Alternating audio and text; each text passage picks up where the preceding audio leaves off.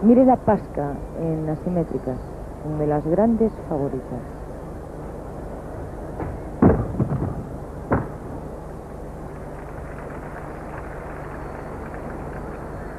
Recordemos que Mirela Pasca es la actual campeona de Europa, justamente en paralelas asimétricas.